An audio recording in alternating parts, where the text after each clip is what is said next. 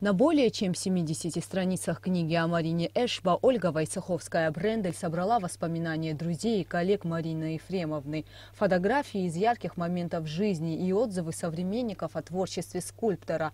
Самым важным для нее было, чтобы абхазское искусство состоялось. Такими словами начинается глава, посвященная воспоминаниям автора о ней. Ольга Войцеховская-Брендель была с детства знакома с Мариной Эшба и хорошо знала ее. Собиралась материалы, было очень трудно. Отказ очень многих э, людей, близких ей, как-то меня немножко отстранял от деятельности. Но в то же самое время э, я набрала достаточное количество материала, а главное, я смогла сама написать о ней воспоминания. Начиная так сказать, с пятилетнего возраста, когда я познакомилась с Мариной, до ее последних дней.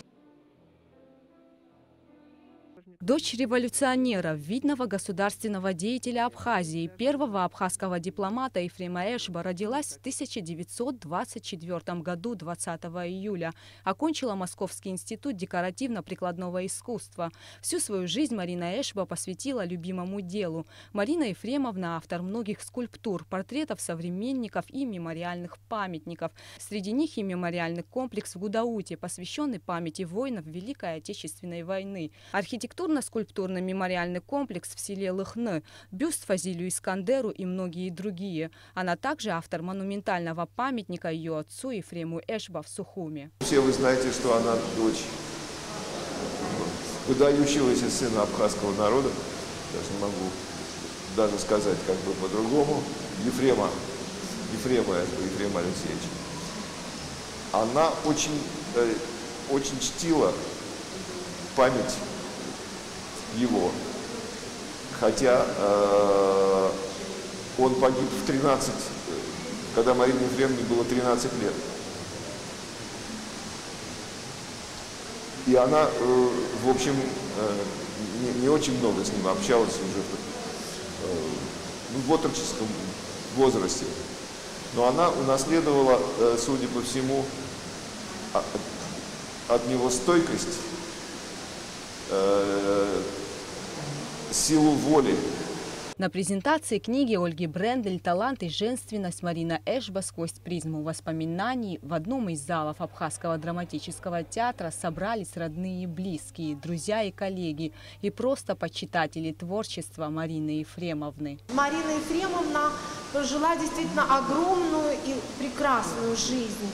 И эта жизнь вместила не одну, а, пожалуй, несколько эпох.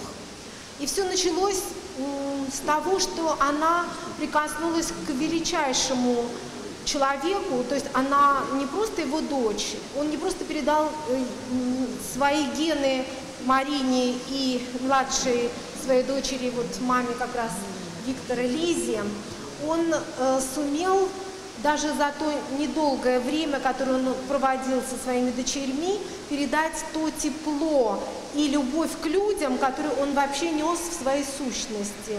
Мы в самом деле вместе работали.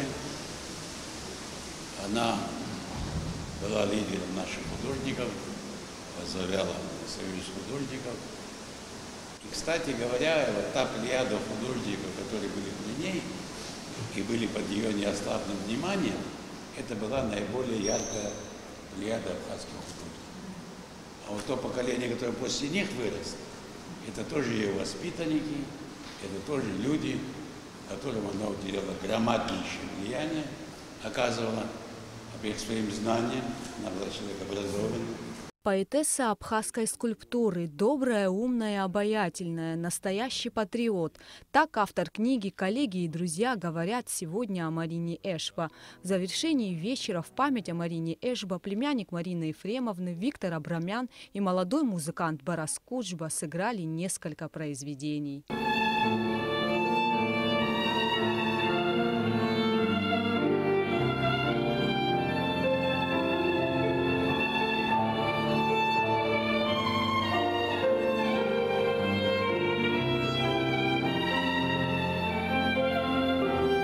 Гугу Савардания, Алексей Баструков, Абхазское телевидение.